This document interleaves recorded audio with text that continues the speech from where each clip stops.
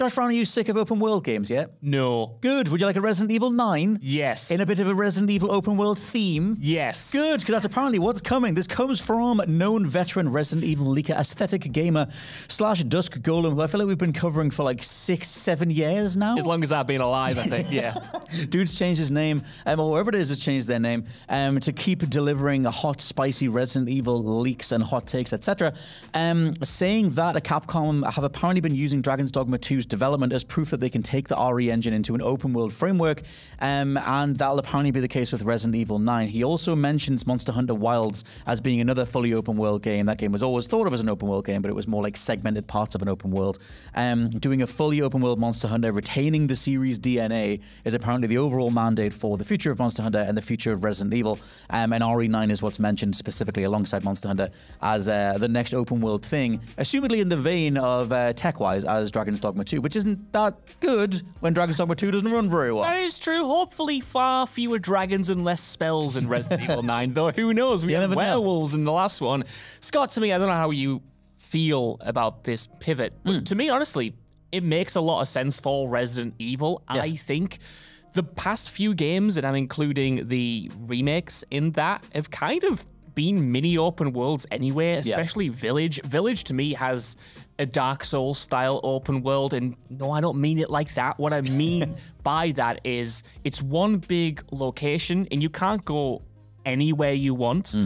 but it's all kind of connected. It all stems from the village. It all springs out from there. You need to unlock certain areas, but it's all kind of contained essentially. It's not like you're getting on a helicopter and jumping to a mm. brand new map. It's it's it's close to an open world anywhere.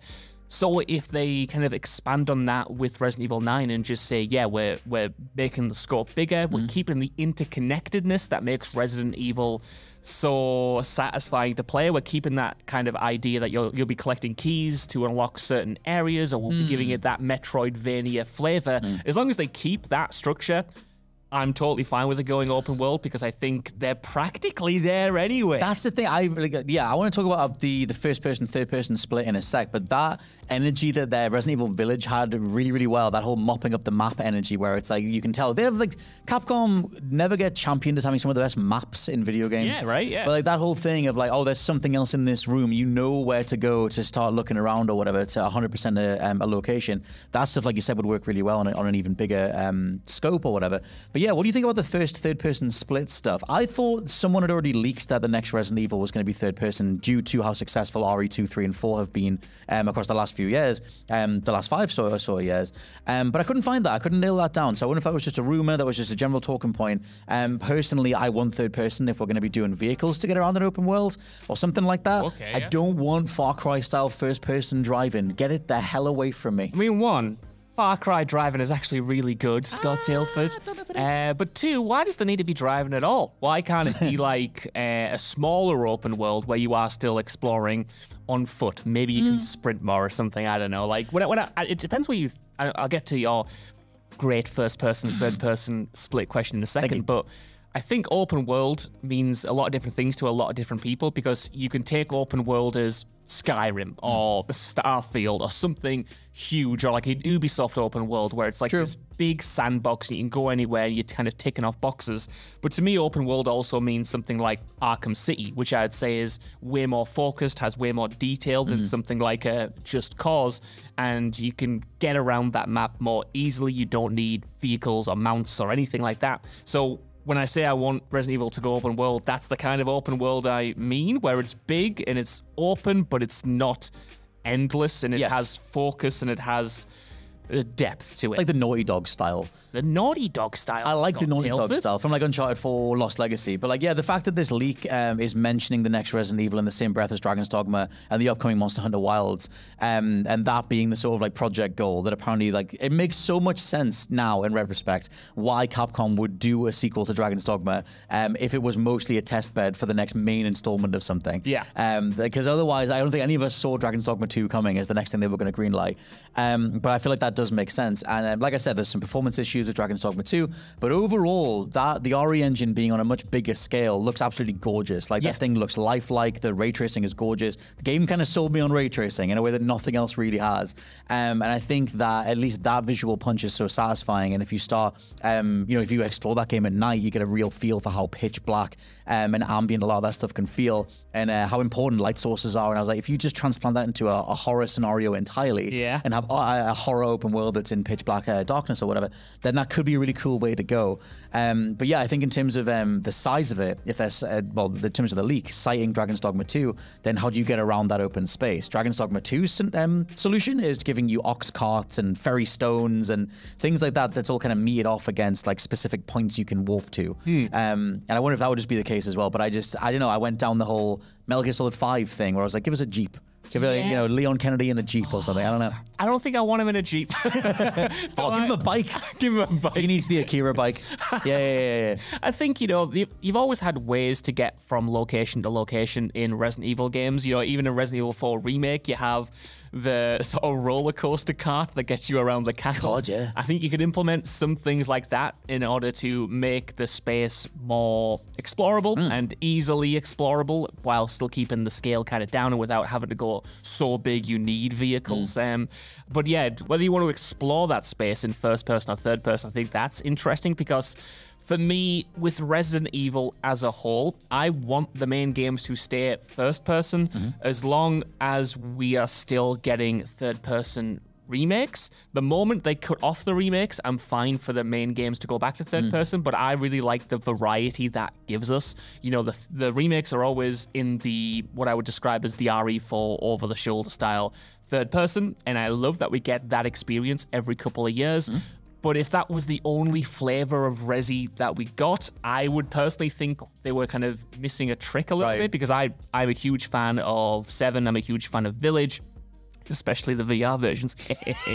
um, and I like the horror that you can get out Mm. of a first person perspective. And hell, I thought the shooting in Village was really good. I thought it was really Oh, yeah, man, like, punchy. So in for the pure sake of variety, I think there's more you can do in a first person space when you have that complemented with third person remakes. It Yeah. just gives you something different because Capcom want Resident Evil to be an annual franchise in that they have something every year. So if all we're, in my opinion, all we're getting are those third person games every single year, Mm. just in different forms, I worry that would uh, become too familiar and lose its luster. I wonder if, like, layout wise as well, if you have an open space, but you have certain parts on that map that you're going to that are kind of like the Beneviento house in Village, Yeah. where you're going into a level, kind of how Arkham City did it, where it's like if you took Arkham Asylum and then just like just shattered it, and you have little connecting points, but you're going into levels kind of thing, as opposed to everything happening in the open world. Maybe that's a, a split. Yeah. Your friend and mine, The Evil Within 2, did very, very well Yes. um, with that stuff. That was a kind of like a prototype open world um, horror game, and it's immaculate at it. It's only two levels in that whole game, but it's really good. When did that game come out? Was it 2017? 2017, I think. It's yeah. been seven years since that game came out. Why has no one ripped it off? That Yeah. approach to open world horror, to me, made The Evil Within 2 one of my favorite horror games Mm. ever because what you got with the open world was a constant sense of surprise. You know, when you play, and I, I love linear, um, or linear-ish survival horror games. I mean, Resident Evil 4 Remake is now one of my favorite games of all time, but you can kind of get familiar with the cadence and the flow of those games. Mm-hmm. You can kind of know when we're going into a quiet bit of the pacing. You know when things are going to ramp up. You kind of know if this is an area that might have some jump scares around the Yeah, corner or yeah. something. What I loved about The Evil Within 2's open world was that every corner was surprising and you couldn't like you couldn't guess what was coming next. You could walk into a random house and suddenly it would be the most insane boss fight you've mm-hmm. ever experienced, and you just thought you were going in there to pick up some supplies, and suddenly this monster is coming out of the ground, it's crawling out the fireplace. It's a huge story beat that you've just stumbled upon. And that element of surprise to me is so integral to horror as an entire genre. And by peppering those surprises throughout an open world, you know, Elden Ring style or something. Hmm. I just think the potential for horror there is like crazy, and I would love to see a Silent Hill or a Resident Evil really capitalize on mm. that with the amount of lessons those franchises have learned over the years. I loved um, the bits in between in Evil Within 2 as well, like the whole you're getting stalked by various enemies on the streets, like you're in this little town, you're taking cover behind a, a car, but then you hear like a moan behind you, and it's, oh my god, I need to go somewhere. And um, then you have those sort of dynamic encounters with enemies in closed off spaces. Maybe you're making your last stand in some random garage somewhere or whatever. It reminded me of um, Metal Gear Solid 2 when the guards would come try and find you. Yeah. And it was like yeah. you, you run ahead of them and then that, that area was about to be scuttled kind of thing. Um, Deadly Premonition did it as well, but not that many games have done the um, dynamic sort of um, trying to chase you down yeah. in a small space thing. Um, I think there's so much more you could do with that. Yeah, I'm curious what this is. I um, Capcom have obviously so much experience with open worlds at this point, like Monster Hunter, Dragon's Dogma 2. Um, but whether they can make it still feel like a Resident Evil, um, there's a way that this could slip off and be like Modern Warfare 3. so I just there's a there's a whole thing whenever people whenever devs, especially legacy devs with legacy IP, say we're doing an open world version of it. Yeah. And I was like, okay, how do you take a legacy feel and make it work with a genre that you've never really done before? No, I totally get it, and I get people might be cynical about like the jump because yeah, it could easily devolve into Far Cry with a Resident Evil skin, but I I think it's a natural progression. Like mm. we've been talking about Village a lot, and to me, the blueprint of how to do an open world Resident Evil game is already there. Mm. Give us those bespoke areas and missions that allow us to experience things like the Beneviento house, but also take its approach to side missions where you're returning to previous areas and suddenly there's a huge boss there mm. or you're hunting down special weapons. As long as they can really nail that sense of survival horror flow where you're progressing your character but you're never feeling too strong or mm-hmm. overpowered, I think they can nail it in the same way that Resident Evil 4 nails its progression while having a more explorable village that you're, again, backtracking through to complete side missions that weren't yeah. there in the first one. You know, revisiting houses. I think that's such a great part of Resident Evil 4 when you go back to the village in the in a storm has kind of destroyed some of the houses and changed the layout of it. Mm. Like, make it a little bit dynamic like that so you're never getting too familiar with your area in the environment. And I think you can have a juicy recipe for open world survival horror gameplay, I think. Just make it juicy. Oh, give us the Spencer Mansion back, you know, just put that in there somewhere. Yeah.